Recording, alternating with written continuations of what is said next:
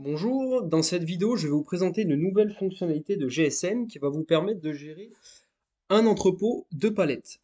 Comme vous pouvez le voir, sur le logiciel, mes palettes sont représentées par des produits.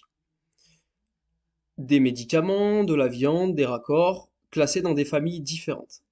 Pour chaque palette, j'ai bien sûr un nombre de cartons différents sur chacune d'entre elles.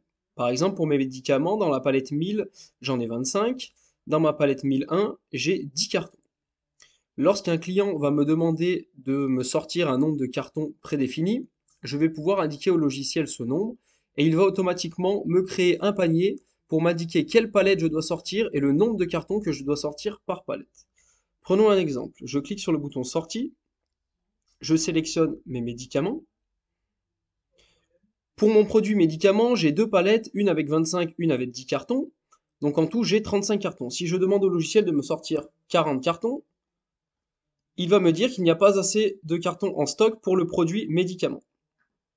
Refaisons la même chose, mais avec une quantité exacte.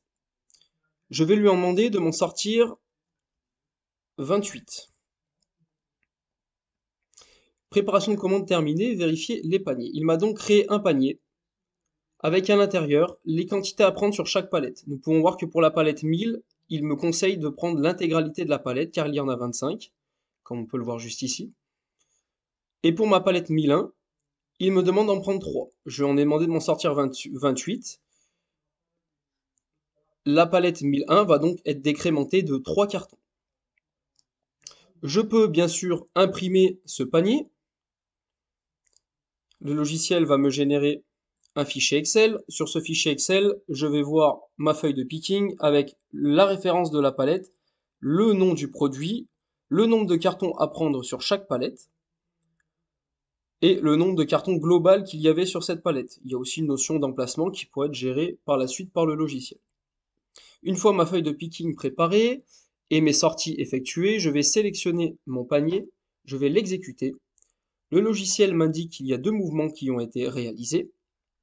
Si je retourne dans mon onglet Produits, je peux voir que ma palette 1000 avec 25 cartons euh, a été supprimée du stock, car elle a été sortie entièrement. Cependant, ma palette 1001 qui contenait 10 cartons, a été passé en quantité 7 car je lui ai demandé de me sortir uniquement que 3 cartons. Si je vais voir dans mon journal, je peux voir que pour ma palette 1000, j'ai sorti 25 euh, cartons. Ma palette est donc passée à 0, elle a été supprimée de mon onglet produit.